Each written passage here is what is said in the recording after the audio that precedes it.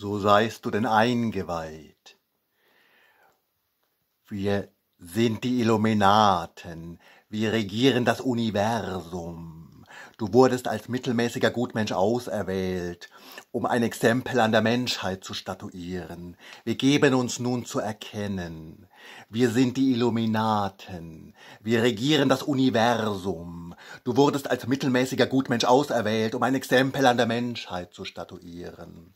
Ich weiß, du machst dir Gedanken über dein Osteologietestat, was du im Jahre 2007 nicht bestanden hast. Wir geben uns nun zu erkennen, wir sind die Illuminaten, wir regieren das Universum. Du wurdest als mittelmäßiger Gutmensch auserwählt, um ein Exempel an der Menschheit zu statuieren.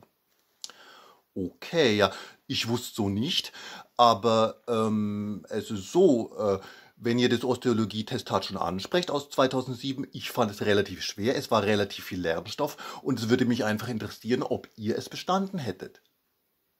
Unterbrich uns nicht. Wir sind die Illuminaten, wir regieren das Universum. Du wurdest als mittelmäßiger Gutmensch auserwählt, um ein Exempel an der Menschheit zu statuieren. Okay, ja. Äh, bloß, ihr sprecht das Osteologietestat an aus dem Jahre 2007 und mich würde es einfach interessieren, ob ihr das Osteologietestat aus dem Jahre 2007 bestanden, bestanden hättet, weil es relativ viel Lernstoff war.